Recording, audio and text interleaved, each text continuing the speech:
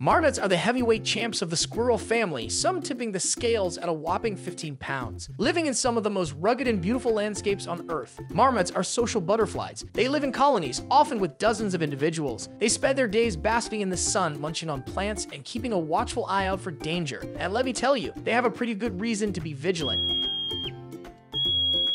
See that? That's a marmot's alarm call. They use these whistles to warn their buddies about approaching predators like eagles or foxes. Look at that face. Can you believe those giant incisors? They're perfect for chomping on all sorts of delicious plants, grasses, flowers, even juicy berries. Marmots are vegetarians and they gotta pack away a lot of food before winter hits. Because winter for marmots means one thing, hibernation. They spend months snoozing away underground, living off the fat reserves they built up during summer. But come spring, these sleepyheads wake up hungry and ready to rumble. They'll spend the next few months catching up on all the sunshine and snacks they missed.